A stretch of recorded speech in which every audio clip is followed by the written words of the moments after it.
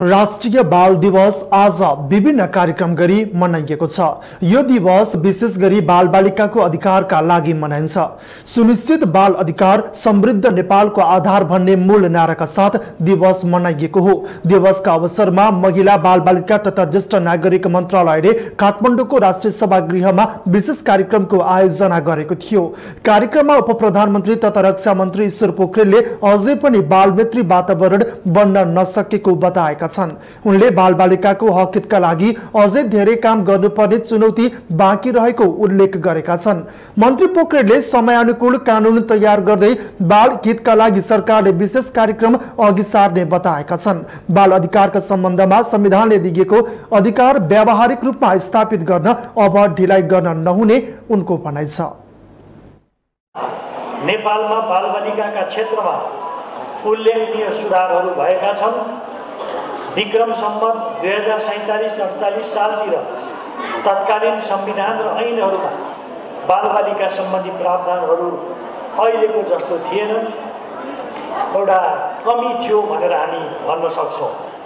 आजको संविधान र कानुनले बालबालिकाको बाँच्न पाउने संरक्षित हुन पाउने व्यक्तिगत विकास गर्न पाउने र बालबालिका सम्बन्धी कार्यहरूमा सहभागी हुन पाउने अधिकारको प्रत्याभूत गरेको हुँदा अहिले हाम्रो संविधान तथा कानुनी संरचना बालमैत्री भएका छन्।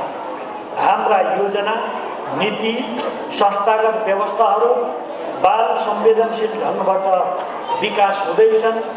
कार्यक्रममा महिला बालबालिका तथा ज्येष्ठ नागरिक मन्त्री थम्मामाया थापाले बालबालिका सम्बन्धी अपराधलाई निराकरण गर्न सरकार गम्भीर रहेको बताएकी छन्।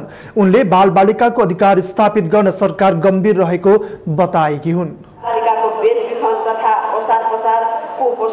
गर्भपतन आत्महत्या अपहरण बाल बालबालिकामाथि हुने शारीरिक तथा मानसिक सजाय जस्ता घटनाहरू विभिन्न सञ्चार माध्यमबाट आइरहेको छन्।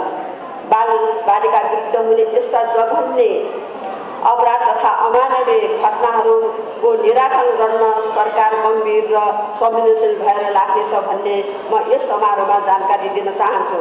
बाल बालिका विरुद्ध हुने यस्ता कार्यहरूप्रति घर परिवार शिक्षक अभिभावक सङ्घ संस्था सञ्चार माध्यम एवं सबै तहका सरकारी निकाय लगायत सिङ्गो समाज अझ बढी संवेदनशील र सजग हुनु जरुरी छ।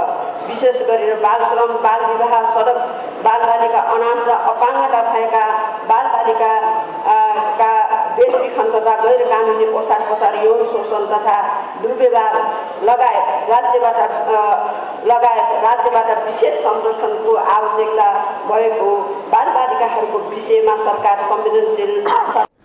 नेपालले संयुक्त राष्ट्रसङ्घको बाल अधिकार महासन्धिलाई दुई हजार सडचालिस साल भदौ उन्तिस गते अनुमोदन गरेको थियो।